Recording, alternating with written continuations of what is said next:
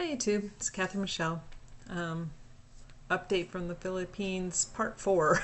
but um, some uh, good news today. But as we know, with with this outbreak, this pandemic, it goes up, down, up, down, up, down. Um, so today they had um, today, yesterday, for them, they had a, a really good day. So you got to take the good days when they come. They had no new um, cases, um, no new deaths, but however, eight recoveries. So eight people recovered. Great news. Anybody who recovers is very good news, and yay. Um, some also good news um, uh, regarding the uh, VA clinic, which was shut down and closed in Metro Manila, because as you know, they just closed it all down.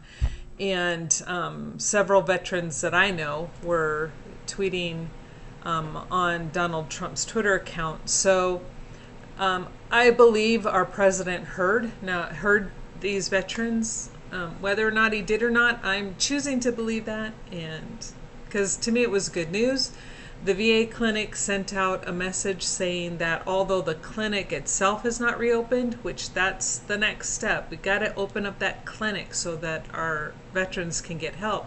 However, good news is is that um, uh, they can now get their scripts.